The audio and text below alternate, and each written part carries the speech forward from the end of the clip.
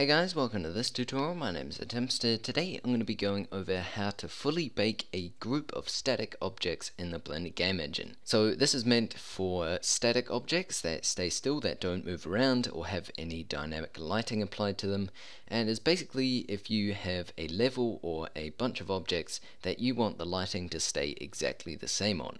So what we're going to be doing is we're going to be baking all the lighting to the set of objects. We'll also be baking everything else together into one image and yeah if you want the starting blend right here then there'll be a download link in the description as well now what I want to do is I want to optimize my game and I want to bake this lighting onto my characters or my objects and to bake everything else together as well. So to do that, what I'm going to do is join them all together. So I'm going to select them all, and with one selected, I'm going to press Ctrl J to join them together. Then I'm going to go over here and call it just prop or whatever. Okay, so just a name that you like.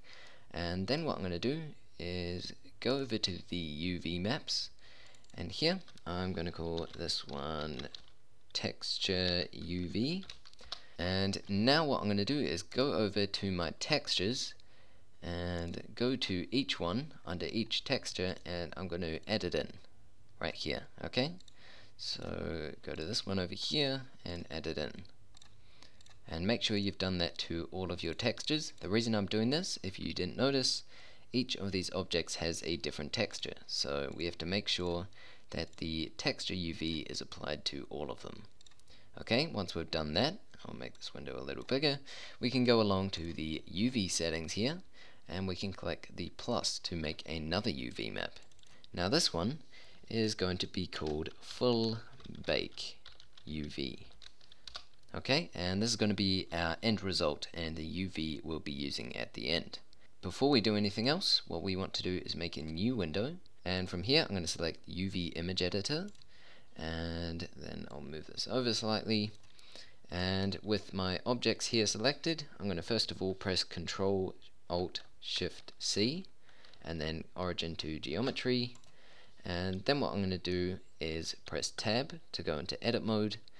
And down here or just in here we need to make sure it's on full bake UV and so we have to make sure this one is selected. And so now making sure this is on full bake UV we're going to press tab in this window and then we're going to press U and we're going to go to light map pack.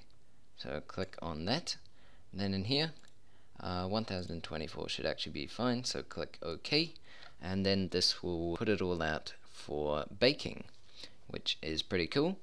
And then what we can do from there is click new image and in here what we're going to select is we'll just type in full bake UV now for your width and height, definitely don't go above 1024.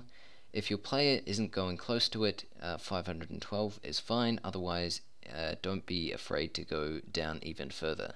Just make sure it doesn't look too bad, but again, don't go past 1024. So we'll set that all up, then click OK, and then what we're going to do is press tab in this window here, and we're going to go over to the render settings here. Now before we click bake full render we want to go to the world settings make sure ambient occlusion is on turn up the samples to around 15 and then here instead of add I'm going to change this to multiply now this I'm going to turn down to around 0.6 as that seems to work the best although maybe 0.55 might work as well. This is basically how much darkness is around uh, each of the objects. Okay, so I am happy with that. Then once I'm done, I'm going to go to my render settings, and then here I'm going to press tab to go into edit mode, and then over here I'll go to bake. And that will take a while depending on how fast your computer is and also how many samples you have set down here. Okay, so that is the bake done. So now what I can do is go image, save as image, and would save it as full bake UV on our desktop, full compression, RGB, and then we'll click save as image. Then the next thing we're going to do is go over to the material setting, make a new material.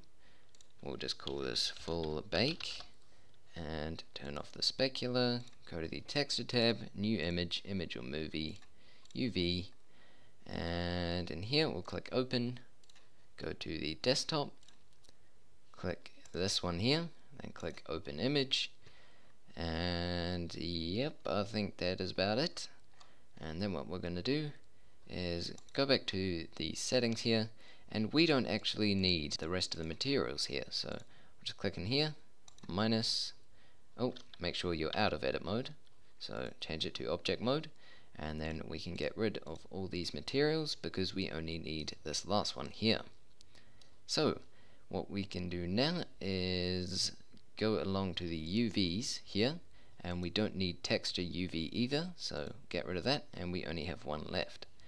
Now as you can see it is a little bit dark and the main reason for that is because we not only have the baked lighting but we also have the current lights here and they're still shining on top of what's already baked. So what I'm going to do is select this go to the settings here and change it to shadeless okay? So that's looking a bit better. And then what I'm going to do is move it up. And as you can see um, it's not affected by the lighting at all and just to prove this I'm going to select all my lights move them to layer 2 so they're not in the actual scene and there we go. So now you can basically in your game delete those lamps that you had there before, which means your performance will improve and your game will flow better, which is awesome, and you'll still have a fairly nice looking corner here. So, uh, yeah, that was about it. That is how to fully bake a set of objects in the Blender Game Engine, including lighting. I uh, hope you guys enjoyed the tutorial. If you did, be sure to leave a like, comment, or share. If you enjoyed this, subscribe for more content. If your one didn't work, be sure to leave a comment down below and I'll try to help you guys out. Otherwise, there'll be a finished.blend down in the description as well. But apart from that, again, hope you enjoyed the tutorial. Have an awesome week, and I'll see you guys in the next video.